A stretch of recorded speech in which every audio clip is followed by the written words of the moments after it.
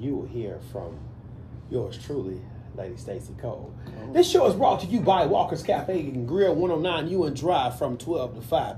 This show is brought to you by the Ephesian Primitive Baptist Church, 1506 22nd Avenue, North Nashville, Tennessee, 37208. This show is brought to you by Trifold Outreach Ministries. That's Trifold Outreach Ministries, 49 Dry Creek Road, Goodlettsville, Tennessee. That meets in the second and fourth Sunday on Zoom at 7 p.m. And this show is brought to you by Forever Zion. That's www.foreverzion.com. Paparazzi Jewelry for your boo, your bae, your subordinate, your significant, your cousin, your friend, your friend of me, your enemy. Stacey's looking at me like, Pastor, you didn't even take a breath. I, but I know. Uh, let me cut you up. Let me cut the headphones up. But that's what all of these shows are brought to you by.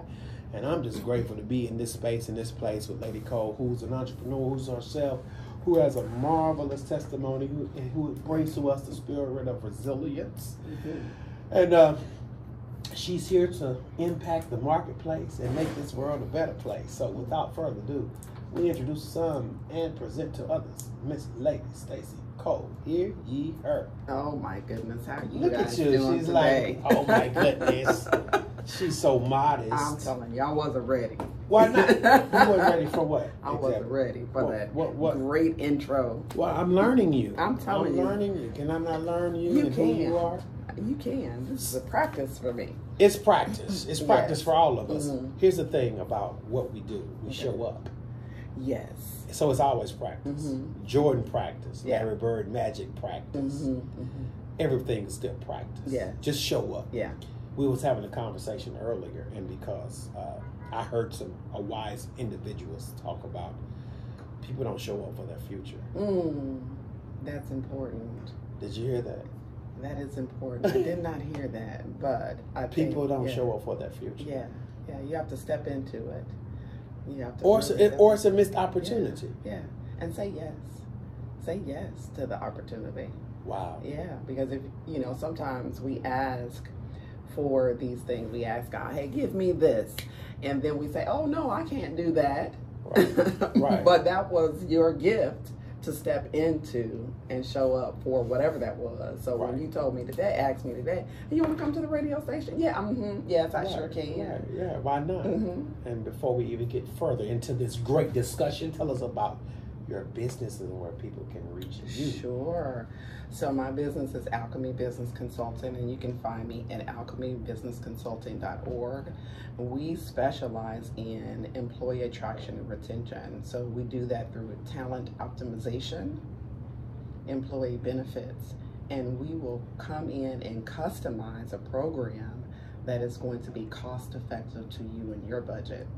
What we do know now is a lot of small businesses are suffering from uh, keeping and retaining their key employees. What that means is is that key employees, because of ooh, inflation, the recession, turnover, they are bouncing all over the place. So what we will do is come in with a strategy to help you um, come up with a strategic plan to uh, implement a program to keep those employees because they are your number one customer. And we want for you to keep those people so that way you can serve the community better. Wow, that's a lot. You said employee benefits. What did you say? Those three. Talent optimization. Talent optimization. Yes, Talent optimization. yes. Say I want to be employed. I have a listen.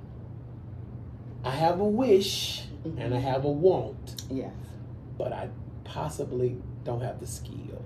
yes, Can you work with me on that? yes. Is that is that a possibility? That's a possibility. Okay. What I'm what I find is a lot of employers already have the the most important staff they already have. Okay. They are already working for you, okay. but you haven't created a culture of succession.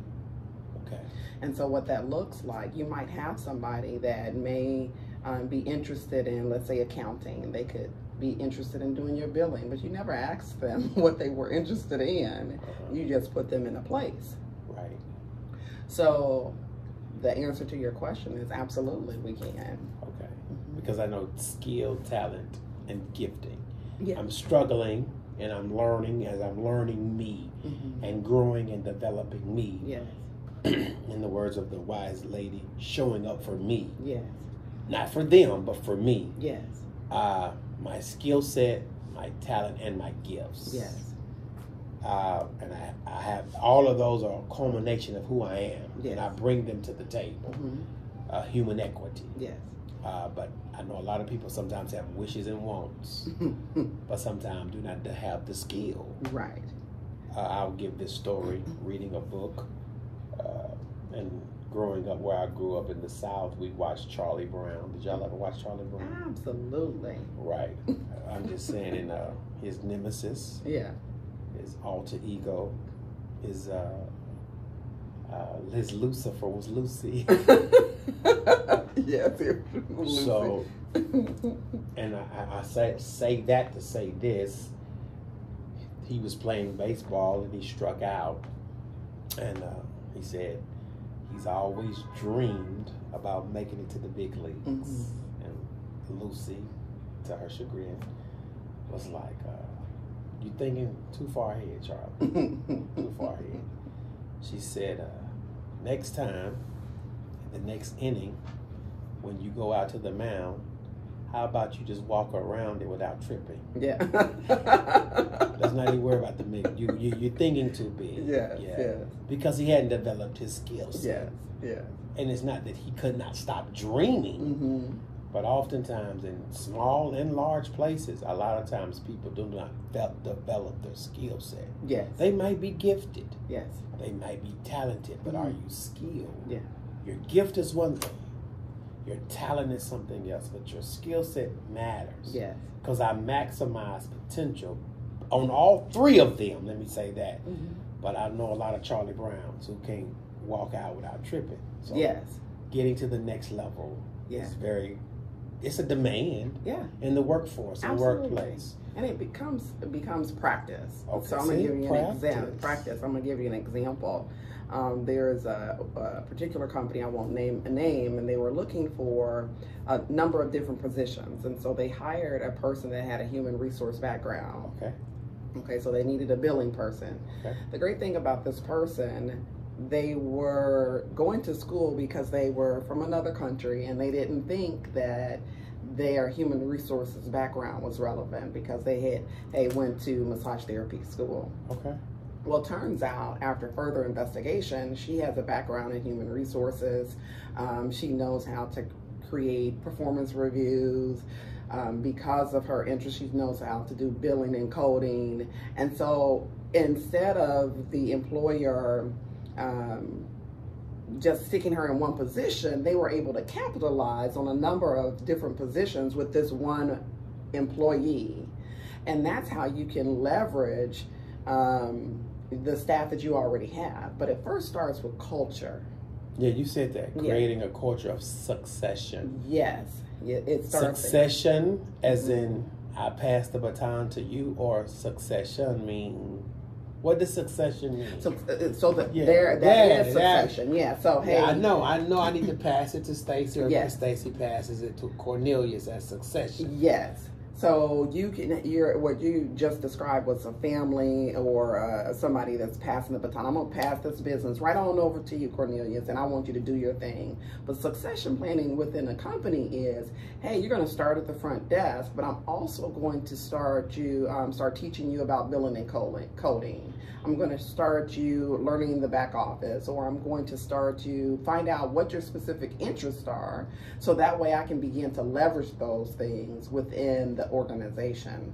Instead of, hey, I'm going to hire a person and stick them at the front, and that person over time, because they're not happy, begins not to perform. Um, they begin to, they uh, ultimately, after a while, begin to leave. But if you create a performance succession plan for them, they will slowly move up from hey front office to billing to back office to accounting, and now you have this person that has uh, garnered loyalty to you as a business owner, and they want to make you happy. They want to make you happy because not only did you just hey put them in a position that they might live and die in, And em- employees are no longer doing that. Right. Okay. Is that good? what? What? Living and dying. No, no. What's They're like, is that good? I mean, and the reason why I'm being facetious in this point and being practical too, a lot of that happens in churches. Mhm. We don't have succession planning in place. And I know the autonomy and some of the ideas that we have as it relates to that organizational structure, but I heard a, another wise person say, once you get a commitment from a person or people, that should be ongoing training. Oh yes. You shouldn't get a commitment and then leaving them hanging. Yeah. So, you know, you talk about capitalizing on people's skills, Yes. people's gifts, Yes. and people's talent. hmm And oftentimes, uh, where I serve, not so much where I serve, but the culture. Yeah. That's the word we're looking at. Culture. Culture. So help me develop and define a succession-driven culture. Yes. Is that a is that a this okay question? Absolutely, that's a great that's a great question, but it always starts at the top.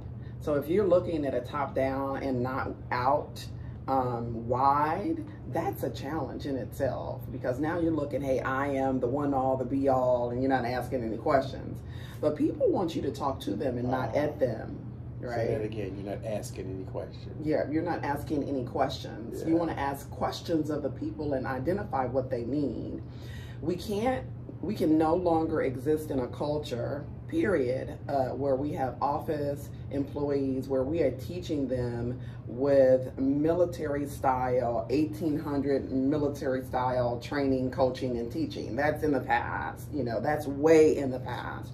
We have a different demographic that Okay. requires you to talk to them and not at them by asking them questions, getting them engaged in your community, the community that you want to create at whatever organization. So if you want it to be fun, you make it fun. That might re- require, I'm a little old school. So I grew up, um, I went to a business school, and so I've been wearing business professional wear since I was 15 years old. Okay Can't believe it. business professional wear, 15 I years old. I'm telling you, wearing suits and What you have. heels yeah. and what I have on. So it's uncomfortable at times for me to go into a business and be in jeans or a polo shirt. It's a blasphemy. And it's a what jacket. I'm usually, as they used to say, suited and booted.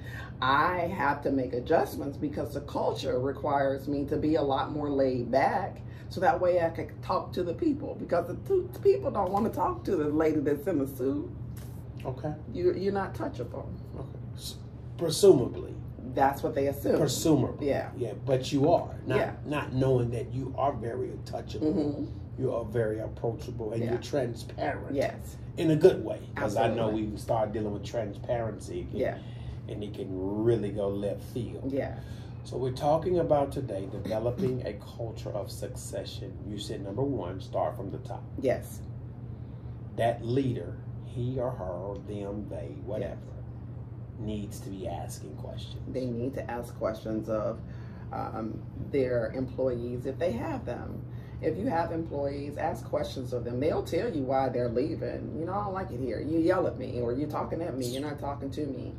But first, the owner or the business professional leader, they have to establish um, what their benchmarks are, and then make fun around it. Uh, around it. Um, Slow down, because somebody's listening. 615-242. Yeah. 7760 242 7760 that's 615-242 7760 you said create your benchmarks Yes. or your company vision. So what your Yeah. your the vision. So let's use. Well, I, I've never worked in a church, but I'm assuming It's an It's, organization. it's an organization. Okay, it can be very uh, dictatorial Okay, let's say it's very dictatorial okay. So talk, let, talk, talking at not talking yes, to yes. And so I would say, okay, let's look at that model. Is that model conducive to what we want to do. So our benchmarks are, hey, we want to increase our uh, community population. We want to uh, in- increase our visitors here on Sunday. We want to increase the people um, for Bible study. We want people to join the choir and things like that. And what you then want to identify is, hey, how do I go about getting the types of people? Oh, what I hear a lot from some organizations, um, religious organizations, is, hey, we want the youth to come in. Well, let's ask a question, and that's where you have to start asking yourself some questions. Well, how do you get the youth to come in? And can we use what we used in the past to get the youth to come in? Now, in identifying that, what you then want to do is get some board people, right? Some people to have a discussion, some visionaries, right? Visionaries. But you don't want in in the box visionaries. I want the people that come up with the crazy ideas and say, "No, we can't put, we can't have church on, on the lake." Well, why not? But you want to think about those. How come we can't have church in McDonald's? I don't know.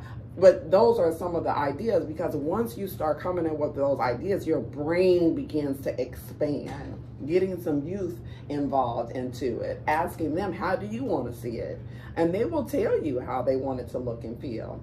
This goes it doesn't matter whether whether it's a religious organization or a dental office or it doesn't really matter you begin to ask questions and then you create a model that drops down into the organization where it becomes a lot more engaging and involved expand the brain.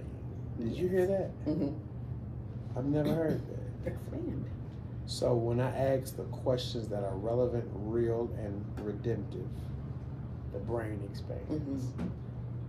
The think tank Mm-hmm. Yes. So there's a possibility in my leadership, in the event I'm not asking the questions, I'm not expanding the brain. Therefore, nobody's thinking of the next. And when I don't think of the next, by default, I look to the past for my success and graces, Yeah. which is a fallen church Mhm. quote unquote. Wow. Hmm. Expand. Somebody, did you hear that? Expand the brain by asking questions. ask questions and then get people around you. I say release all ego. If you want to scale release Mm. your ego. You have to release all I, i've been doing this for 28 years. I've been doing this for 32 years. Well it's not working today. So that means that you have to fix and let go of that so that way you can look towards the future So you you've given us a challenge today. A lot to expand the brain, ask questions, Yes. create a success-driven culture. So number one, it's by expanding the brain. Number two, by releasing the ego. Mhm. Release your ego. yes If I'm going to create a, oh, identify the target first. Yeah. Yeah. Third, first, identify your target or your benchmarks. yeah Huh. Benchmarks, brains, and egos. Huh? Mhm. Three words. What does a benchmark look like for any organization that you work for? Hmm. Oh, that's good. So I, I actually just uh, record. Or do you have any personal benchmarks? What's your personal benchmark? Oh, I Let's- do. let's so talk about your personal first. so let's talk about my personal. So there is an an event Mhm. that I want to bring to Nashville. Right. Okay, there is a. It's called a Fight Back Fair. A, a fight back fair. Fight Back Fair. Okay. Okay, and it was started in New York City. Uh-huh. with a, a couple of attorneys um, to help support victims. No, let me rephrase that. Survivors Survivors. of sexual assault and domestic violence. Okay. Okay. And it's a play on words because we want you to fight back, but we want you to fight back fairly. And how you do that Okay. is engaging in a couple of things. You want to Fight back fair. Fight Back Fair. It's a one day fair where we um, invited attorneys Mhm. that are going to answer your questions if you are so decide to um, ask questions about hey if i was to actually go and press charges against xyz person who did this to me Um, in addition to that, we brought in some um, self defense class. So the Fight back fair. fight back fair. So Fight we had some fair. fight back. Um, so my benchmark right now is was first to get in contact with the attorneys that first started that organization in New York City. Uh-huh. Uh, the second thing was to garner their approval for me to be able to do that here Uh-huh. in Nashville and begin to uh, establish and build relationships with organizations that some, uh, support domestic violence and sexual assault Hmm. um, here in Nashville. And I've started doing that just by going to different community events. Um, and so um, I've set a tentative date of uh, early to mid October. All right. That kind of gives me some opportunity to build some relationships, get some people. I've talked to um, a lady that does Krav Maga uh, self defense and teaches you how to defend yourself. I've talked to uh, sexual assault and domestic violence place out in uh, Murfreesboro who said, hey, we got some support. Uh, your support, whatever you need me to do. I've also uh, spoken to a couple of uh, not for profits Okay. um, because we're going to need a space, Mm. um, some donations, and some food, and to get the word out. So that's uh, uh, how I benchmark that. So I walk through that. See, when I, I heard fight back fair, I'm thinking fight back fair is in going to the state fair. hmm You know, I wasn't thinking of fighting back fair Mhm. as in emotional. Yeah, And yeah. then you help unpack that Yeah. for me because I'm like fight back fair. Okay, that's that's not fair. yeah. Everybody gonna come and fight Yeah. back. Yeah. Which that's yeah. true too. That's true too. Yeah. But fight back fair. That's Mhm. um, good, good, good. I like that. I like that. I like that. Yeah. Wow. Benchmark for you, and so you got the benchmark. Yeah. You talk in your fight back fair. Oh, we only got like three minutes. yes. At what point did you release your own ego in your own benchmark? Oh my goodness, it's a work in progress. Oh, okay. Yeah, that those are healing topics, and Okay, you okay. don't release those things overnight because they you've been conditioned, honey, to have walk around with that ego. That's healing. That's healing, yeah. So, so I, I, I'm going to make the assumption that you and I will finish this conversation at another time. Huh? Absolutely. Of course, of course, talking about the fight back there. Yes. So for those individuals that, like me, thought it was just going to be a bunch of people fighting back, and we was going to do it fair style. You hear me? Just show up at the fairground and let's fight back fair. That's where I was thinking until she had to unpack that.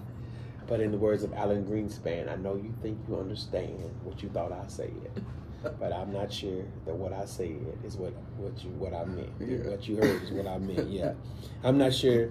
I know you think you understand what you thought I said, but I'm not sure that what you heard is what I meant. Yeah, that's how that goes. Fight back fair. Wow, that's that's an awesome thing. Expanding the brain.